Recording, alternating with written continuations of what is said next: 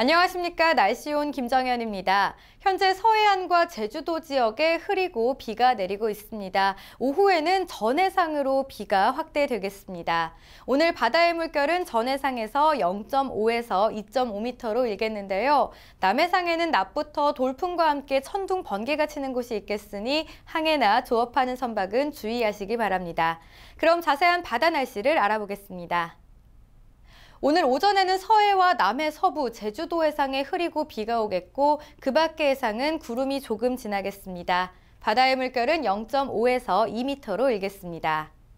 오늘 오후에는 전해상에 흐리고 비가 오겠습니다. 물결은 최고 2m까지 일겠습니다.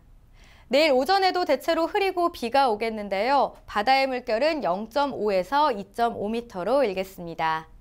내일 오후에는 남해 동부 해상과 동해상에 비가 오겠습니다. 바다의 물결은 최고 3m까지 높게 일겠습니다. 다음은 제주 앞바다의 날씨입니다. 오늘 오전에는 흐리고 가끔 비가 오겠습니다. 물결은 1에서 2m로 일겠습니다. 오늘 오후에도 비가 이어지겠습니다. 바다의 물결은 1에서 2m로 일겠습니다.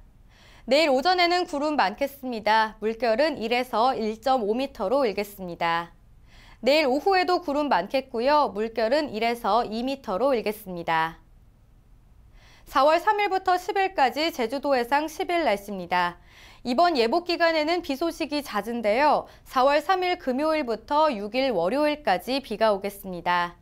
바다의 물결은 4월 3일에는 1에서 3m로 높게 일겠고 그 밖의 날은 1에서 2m로 일겠습니다. 해상 날씨였습니다.